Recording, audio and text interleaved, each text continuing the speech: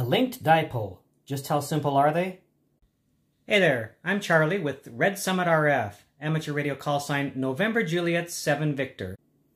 My friend Dave, KC7MAD, has a project here. Uh, you look at this, this is a centerpiece for a dipole. This here is a BNC connector at the bottom of this one. This one's an SMA connector.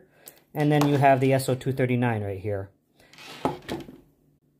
Just thread some wire through the hole right here, and then take one of these alligator clips and clip to the, to, to the uh, soldered end of the wire. Cut the wire to the frequency you want to make sure that the wire is resonant. Uh, this is 10 meters, so it's 28 megahertz. Find out more at printables.com and search for D. Gardner.